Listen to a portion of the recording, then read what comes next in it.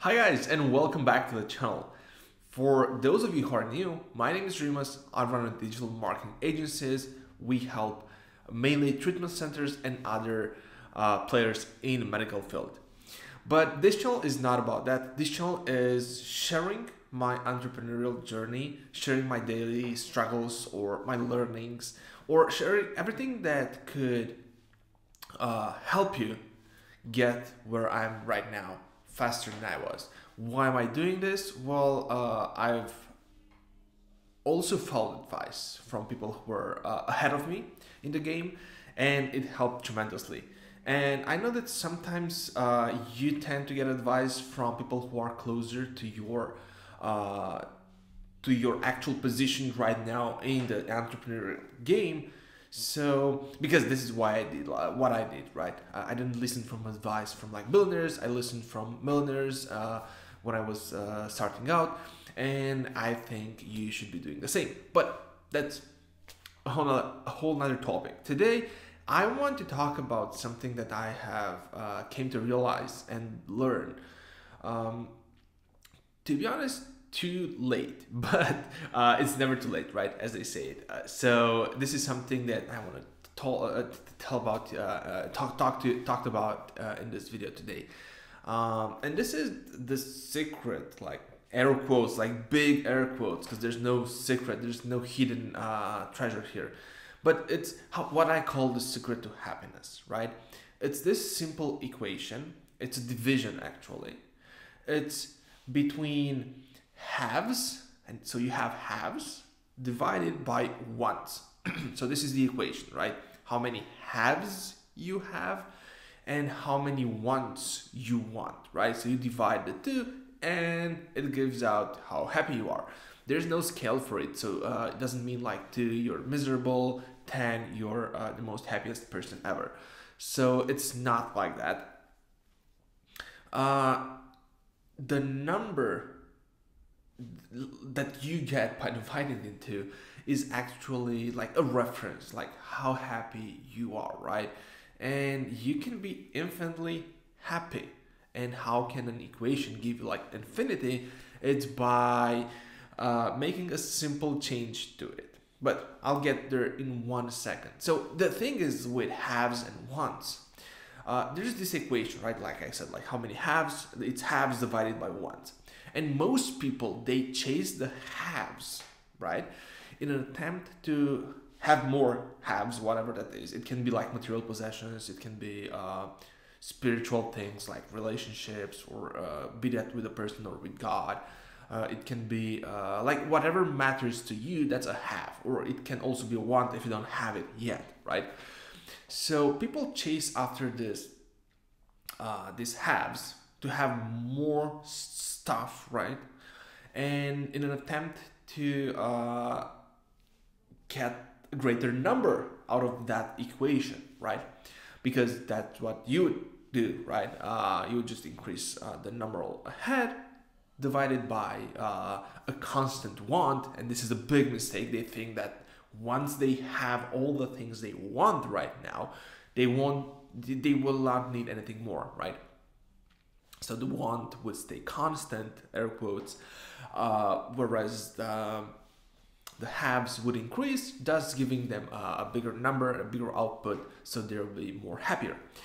Uh, well, that's not really the case because we all know, and I'm sure you've experienced this in your life before, uh, the more things you have, the more things you want. Okay, so let's take an example material possession because it's simpler this way you really wanted that new um, Jaguar, right?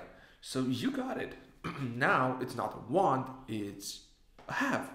So theoretically speaking, you have less wants, more haves, thus the more happier you are. But guess what? Probably that's the case for a month or two, let's say a year tops. But next year, uh, next month, next week, whatever, you'll want a Rolls Royce or you'll want a Lamborghini or you'll want the new model of that Jaguar, right?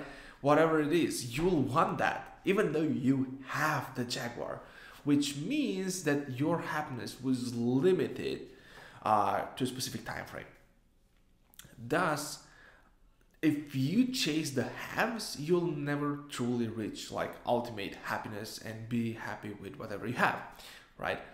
Uh, so the goal here is to go after the wants and minimize the wants, uh, make them as close as possible uh, to zero, or even make them zero. What does it mean? Like it, it means that in that moment, no matter what you have, you're infinitely happy. If you divide that by zero, you don't want anything. Like uh, you're not like you don't want the new car, you don't want the new house, you don't want uh, this or that, whatever it is, right? And not wanting anything makes you infinitely more happy, and it stays for good because not wanting it's a state of mind, whereas having and once we already discussed that uh, it's a limited time period uh, between the two, right? So the point here is not to say that money is not important because I do not believe that. I do believe that money is important and money can buy uh, things that will make your life more comfortable, thus make you more happy. So I do believe that money is very important. I'm not saying otherwise. Uh, also, I do believe in chasing your goals. So if your goal is to have a healthy, happy relationship, uh, and that might be a want, do not cross that off your list and stay in a shitty relationship just because I said so. No. Uh, just use your brain to think about this kind of things, right? But the problem occurs when uh, you want something that you already have, but uh, you are not grateful for the thing you have, so you're chasing the new shiny th- object, new shiny whatever, and it's this perpetual chasing the cat thingy, right?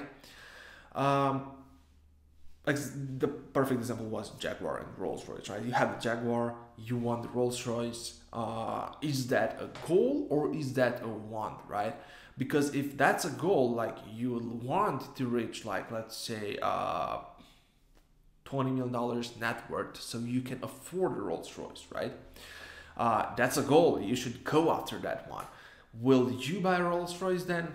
I don't know, but the goal should not be the Rolls Royce that's what I'm trying to convey here. So uh, I'm not gonna make this video uh, any longer. Uh, I I I'm, I try to keep them under 10 minutes. Sometimes I do, sometimes I don't. Uh, this one I hope it it's uh, it's been under 10 minutes. The thing is, always remember, guys, it's haves divided by wants and that gives you an output. And uh, the closer to infinity that output is, so the less wants you have, uh, the happier you are.